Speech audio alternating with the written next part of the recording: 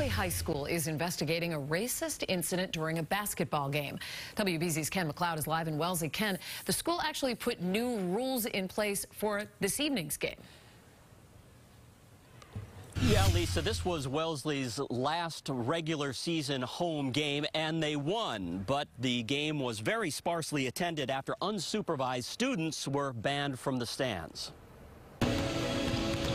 Warm-ups before this afternoon's game were uneventful, unlike last Friday night's Wellesley-Weymouth matchup, where student fans in the Wellesley section barked racial slurs at some black Weymouth players. Mostly just feel really sorry that guests in our building, you know, had to be you know, subjected to that. That's not, um, it's not who we are. The stands were full then, but not so today, partly because no Wellesley students were allowed to attend without a parent.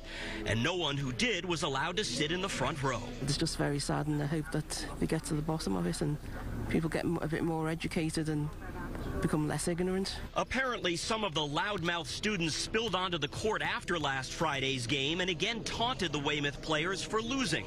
But at this point, none of the teens who tossed racial slurs have been identified. Really disappointed to, to hear that um, the kids were involved. Um, it was Wellesley kids involved. I was very upset, and uh, it's just not acceptable uh, be it be the players or the students, any other students. You shouldn't be doing that. Both schools have issued statements condemning the incident and praising their basketball players and coaches for not losing their cools and making the volatile situation worse. Wellesley's principal has apologized and promised not only to get to the bottom of it, but to urge a constructive dialogue. This is a moment we can't shy away from, and we just, you know, we have to confront it and um, do the best we can.